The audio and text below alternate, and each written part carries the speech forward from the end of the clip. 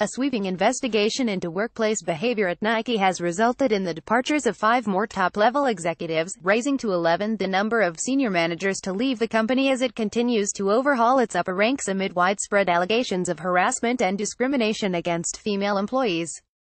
Together, the departing executives oversee some of the most important business categories and high-profile departments at the world's largest sports footwear and apparel company.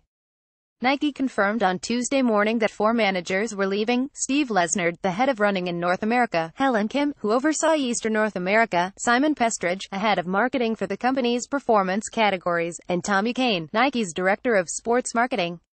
Later in the day, a Nike spokeswoman also confirmed the departure of Ibrahim Hassan, a senior creative director who former employees said had been involved with the company's marketing campaigns with the British female singer FKA Twigs. None of the five departing executives responded immediately to requests for comment. In a company-wide address last week, Mark Parker, Nike's chief executive, apologized to employees and said that departures related to the company's broad investigation into workplace behavior would be completed by this week.